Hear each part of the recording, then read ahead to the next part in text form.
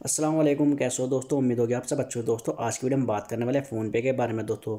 दोस्तों, जैसे कि मैं अभी यहाँ पर इंडिया में आ चुका हूँ और यहाँ पर आने के बाद मैं वीडियो अपलोड नहीं कर पा रहा था, लेकिन आज मैंने सोचा क्यों ना फ़ोन पे अकाउंट बनाया जाए और यहाँ पर मैं आपको वीडियो भी अपलोड कर दी जाए। तो दोस्तों, मैंने पेटीएम तो अकाउंट बना लिया है, लेकिन मैंने फ़ोन पे फ़ोन पे का अकाउंट बनाना है। तो इस वीडियो में ये बताने वाला हूँ कैसे अकाउंट बनाना है। और दोस्तों, जो लोग अभी सऊदी अरब से वीडियो देख रहे हैं। जो लोग सऊदी अरब से इंडिया में आए हैं, उनके लिए मैं आप कुछ इन्फॉर्मेशन बताना चाहूँगा। तो इन नेक्स्ट वीडियो में उसी के बारे में बता बताऊँगा, ठीक है? तो आज की वीडियो बस ये है कि आप फ़ोन पे अकाउंट कैसे बनाना है, कैसे यूज़ करना है, वो अगली वीडियो में बताऊँगा। लेकिन आज के लिए अकाउंट कैसे बनाना है यही बताने वाला हूँ। उसकी के सब कुछ अगली वीडियो में होगी इंशाल्लाह। अगर ये वीडियो पसंद आती है तो प्लीज़ लाइक करना है। चैनल को सब्सक्राइब नहीं किया प्लीज़ चैनल को सब्सक्राइब करना है इस तरह की वीडियो देखने के लिए। तो चलिए दोस्तों शुरू करते हैं।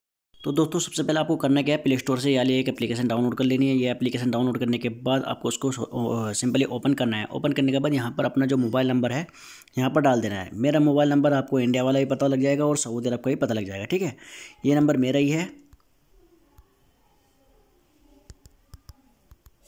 ठीक है ये नंबर भी मेरा ही है और जो सऊदी अरब का नंबर था वो भी आपको लोगों को पता ही होगा ठीक है यहाँ पर प्रोसीड पे आपको क्लिक कर देना है यहाँ पर एक वन टाइम पासवर्ड आएगा तो उसको यहाँ पर आपको डालना होगा ठीक है चलो हम यहाँ पर थोड़ा सा वेट करते हैं और यहाँ पर ऑटोमेटिकली यहाँ पर डिटेक्ट कर लिया है और यहाँ पर हमने पासवर्ड हमारा ओके हो चुका है ठीक है यहाँ पर इस तरह से अकाउंट बनाना है बस कुछ भी नहीं सिंपल है और यहाँ पर आपकी जो भी है यूपीआई बैंक ये सब कुछ यहाँ पर आपको देखने के लिए मिलेगा तो यहाँ पर एक काफ़ी अच्छा एक एप्लीकेशन है यहाँ पर आप मोबाइल रिचार्ज कर सकते हैं डी टी एच जो कि डिस होता है, यहाँ पर उसको भी आप अपने मोबाइल से ही रिचार्ज कर सकते हैं। यहाँ पर काफ़ी ज़्यादा आपको पेमेंट देखने के लिए मिल जाता है। यहाँ पर आप बहुत चीज़ें कर सकते हैं।